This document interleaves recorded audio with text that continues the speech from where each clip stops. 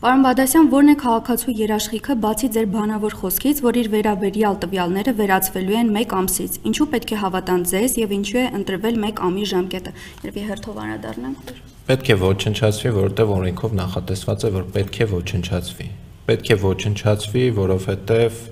այդ տվյալները նախ պահպանելու որևէ մոտիվացիա չի կարող լինել պետության, նույնիսկ եթե կասկածը իրավապահ նկատմամբ է, իրավապահ մարմինների համար որևէ հետաքրքրություն այդ տեղեկությունը չի ներկայացնում։ Սա երկրորդ։ Եվ երրորդը հարցով պատասխանեմ նշված լրագրողին, իսկ ինքը որքանով է վստահ, որ օրինակ իհարկե ես որևէ անվստահություն սրանով չեմ հայտնում օպերատորներին, բայց այս նույն տեղեկությունը, որը կուտակվում է մշտապես, որքանով որ օպերատորները սկսել են գործունեություն իրականացնել Հայաստանի Հանրապետությունում, պահպանվում է օպերատորների մոտ չի վերացվում կամ վերացվում է ֆանտաստիկ երկար ժամանակահատված հետո ուղղակի այդ տվյալները պահպանելու հնարավորություններ չունենալու համար ասենք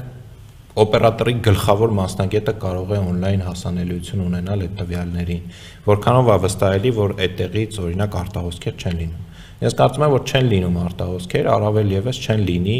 երբ որ դա պետական մարմնի կողմից է օգտագործվում համաճարակի դեմ պայքարելու շրջանակներում եւ կրկին վառ երևակայությունա պետք ունենալ, որ կարծել, որ համաճարակի դեմ պայքարում նման միջոցառումներ իրականացնելը կրիտիկական, ինչ որ մեկի ուղեղում կծնվի միտք այլ նպատակներով այդ ինֆորմացիան չնայած նաեւ բարթա պատկերացնել այդ այլ նպատակները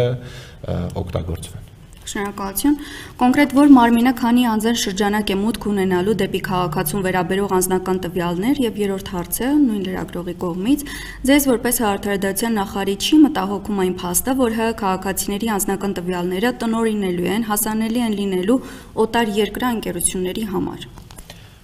որևէ Հայաստանի Հանրապետության քաղաքացու տվյալ օտարերկրյա ընկերությունների համար հասանելի չի լինելու, չգիտեմ որտեղից է պնդում հարցը,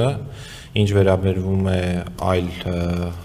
ինֆորներ հարցի առաջի մասը։ Առաջի մասը կոնկրետ որ մարմինը, քանի անձն շրջանակ է։ հա, Դրան մասնագետները, ովքեր տիրապետում են այդ ծրագրին ավտոմատացված վերում են շատ սահմանափակ թվով մասնագետներ են տեսնելու առաջնային ինֆորմացիան, հետո առաջնային ինֆորմացիան փոխանցվելու է ԱԻՆ-ին, ոստիկանությանը, որոնք կարող են կամ այլ պետական մարմնի աշխատողին, ովքեր կարող են կատարել զանգերը եւ քաղաքացիների հետ աշխատանքով մեկուսացման, ինքնամեկուսացման աշխատանքներ կատարել։ Կա արդյոք վտանգ, որ հավաքագրված տվյալները կհայտնվեն հաքերների տրամադրության տակ, ովքեր էլ այն կփոխանցեն երրորդ կողմին։ Կա հավանականություն, որ վաղը երկիր մոլորակի վրա աստերոիդ կընկնի եւ լուրջ հետևանքներ կունենա կամ կա հավանականություն նաև որ օպերատորների բազաների տվյալները հաքերները կգրոհեն եւ կվերցնեն։ Կա հավանականություն ամեն ինչի, բայց այս նախագիծը դրա հետ կապ չունի։